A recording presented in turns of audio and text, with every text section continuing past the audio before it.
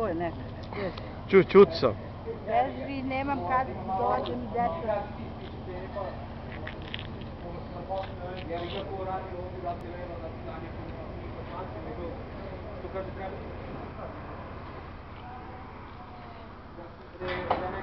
Evo, stiglo je ustopanje.